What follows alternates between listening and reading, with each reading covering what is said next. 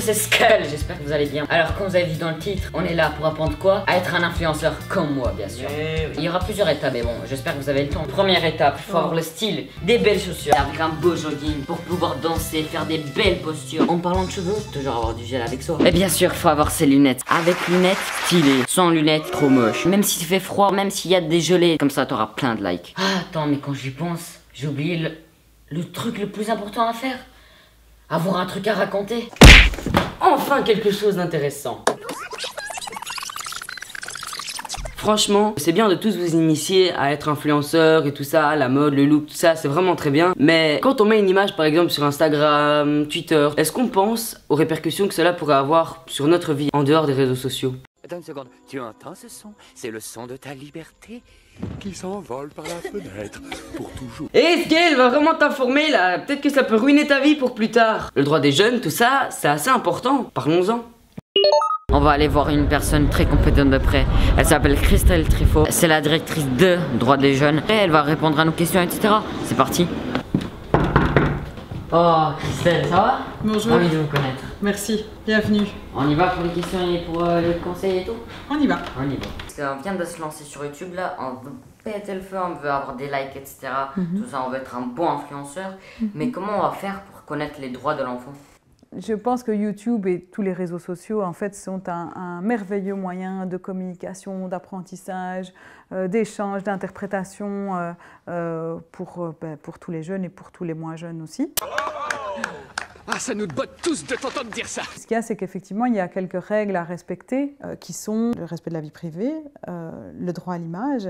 Si je te, je te pose la question, est-ce que toi, tu sais ce que c'est que le droit à l'image? Oui, euh, bah, l'image, par exemple, vous filmez quelqu'un dans la rue, Mhm, et bah, si vous n'avez pas l'autorisation de cette personne, mhm. vous ne pouvez pas faire ça. il a le droit de dire qu'il est d'accord ou qu'il n'est pas d'accord. D'accord? Il y a aussi en fait quelque chose ben, donc, qui est important de savoir, c'est que si le, le fait de te produire sur YouTube, de publier des choses sur les réseaux sociaux, euh, va porter atteinte à l'intégrité euh, physique ou psychique euh, d'une autre personne, lui pourrait à ce moment-là, euh, en tous les cas, demander éventuellement des dommages et intérêts.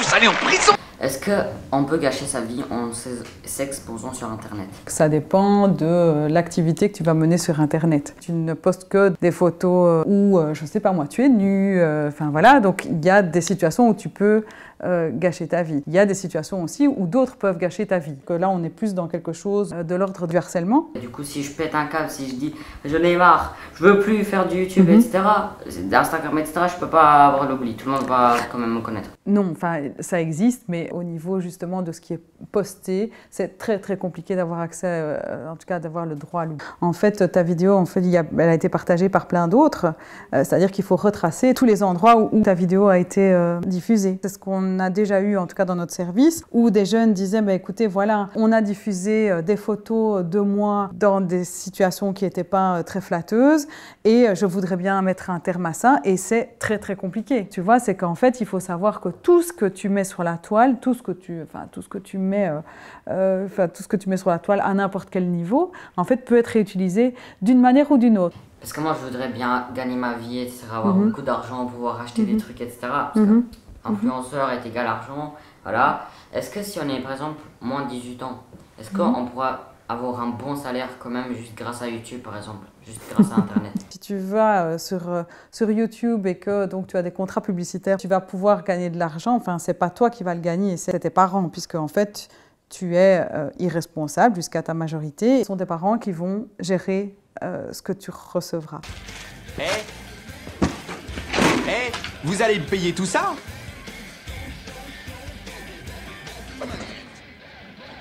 Parle à ma main. Ils ne pourront pas toucher au capital. Donc tes parents ne pourront pas toucher au capital que tu recevrais.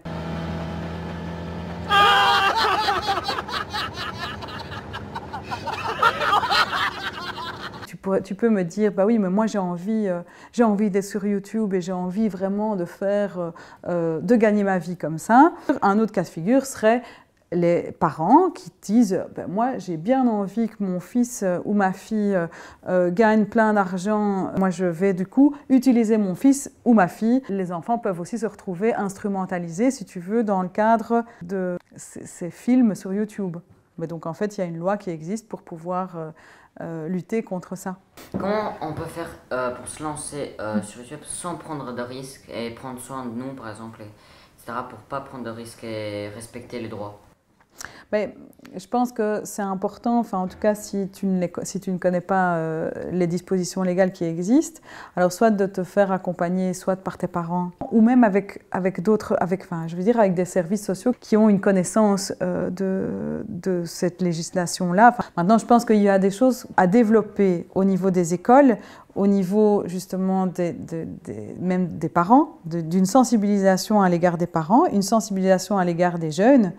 Et euh, donc voilà, il y a quelque chose là, et pour moi il y a un travail énorme à faire pour éviter l'utilisation des technologies de l'information et de la communication qui en fait entraîne des exclusions. Bah ça fait plaisir, comme ça moi je sais, quand je vais filmer quelqu'un, je vais demander l'autorisation bien sûr, mhm. parce que sinon lui il pourra poser beaucoup de problèmes. Après, c'est fini, je suis ruiné, etc. Du coup, merci pour euh, vos conseils et votre aide. C'était Christelle Trifot. Merci. Merci.